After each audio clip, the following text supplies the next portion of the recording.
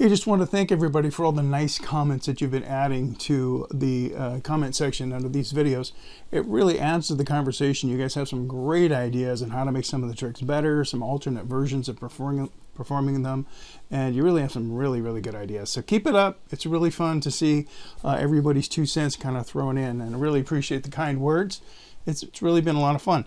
Uh, in fact, speaking of that, this trick comes to me by way of one of our subscribers by the name of Glen. He wrote me a little note, said, have you ever seen this trick? And he described it to me, and I thought, no, that sounds great. Can I make a video about it? And he said, yeah. Well, after we had that conversation, I realized I actually had seen the trick. It took me a while to remember it, and I thought of a slightly different way of doing it. So, uh, Glen, we're going to do your trick uh, that you described me with a little bit of a twist. I, I hope you like it. Thanks for uh, thanks for the input. And it's a great trick. Here's what happens. Basically, it would be better if I had a spectator here because in this trick, the spectator handles the deck of cards the whole time. What happens is you give them the deck and they can shuffle them up any way that they want to. And in fact, and cut them, of course, they can make a mess out of them and it's kind of good if they do. Anyway, let's say they do that. They've cut them up and they've shuffled them. And the whole time that they're doing that, um, you're just watching and you're holding the box that the deck came in. Now, once they're settled out on uh, where they want the cards to be, shuffled and not uh, shuffled and cut and messed up and all that, you're going to say, you know, I've been holding this box the whole time, but can you hear this little rattle? You hear that sound? That's because inside this box, this whole time, I've had a prediction it's really amazing that there's a prediction in here, but that's not the amazing part. There's something else that's amazing. I don't know if you've noticed, but on the outside of the box, there's even a prediction. It's printed by the Bicycle Playing Card Company. Even they made a prediction. And in fact, it's the only card that's printed on this box. If you look at it, they have printed a card and it says 10 of hearts. You ever notice that? Well, I also made the prediction. I took a card from a different uh, deck. It's the only card in here and I predicted 10 of hearts as well. So Bicycle knew something, and I knew something, but did you know, after you shuffled the cards, that you would end up with the 10 of hearts on top? Isn't that amazing? Now, um, of course, that would go a lot better if we had somebody here doing it. It's a lot more fun to have somebody messing with the cards and we can play with that and talk to them. But that's the basic structure of the trick. They literally uh, end up with the Ten of Hearts or whatever card you want to force, actually. You can force any card you want because that's what it is. You're left clean here and um, pretty much left clean pretty much everywhere. Let me show you how it works because it's really, really cool. It's easy to do. It's easy to make because you do have something you need to make. So first of all, um, obviously I forced a 10 of hearts and so I took a 10 of hearts from a blue pack and put it in the box. Easy to do. I also took the card I'm going to force, the Ten of Hearts, set it aside, and then there's something that I made, and I'm going to show you how I made it. It's one of these. I mean, one of these. It's called a top of the box gimmick, right there. Very easy to make. I took an old box, took an X-Acto knife, and I cut this out.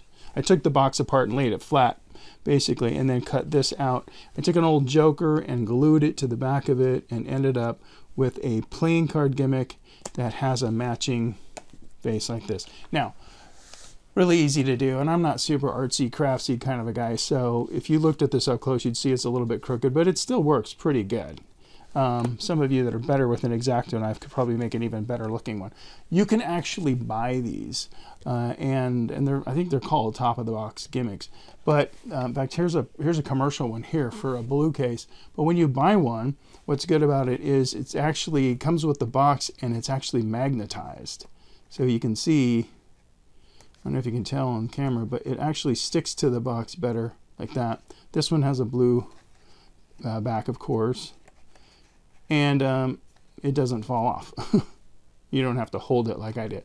But you know, you have to buy that, and the, the, the, box is gimmicked and all that kind of stuff. And in fact, this one, uh, there's no, uh, it's it's an old box, so the Ten of Hearts thing would, wouldn't happen here. I'd have to force a different card or whatever card we wanted. But anyway, my point is, you don't have to buy one. You can make one. And mine's not magnetic. I don't think it has to be. Um, what I did instead was I took the card that I'm going to force, and I put it right there and I put the top of the box gimmick and I put it right there and I simply held them together the whole time.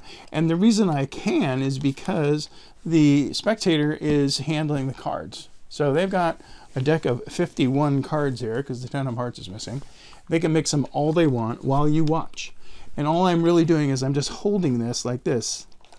And there's nothing else to do except hold this. So it's great. Now, the reason why I did this thing with the 10 of hearts being on the box, because all bicycle cards of this style have that 10 of hearts there. The reason I did that is because I really wanted a better reason for putting the box on the deck when they're done. I wanted to draw attention, say, hey, let me show you something about this box. And it gave me a good reason to put the box down there.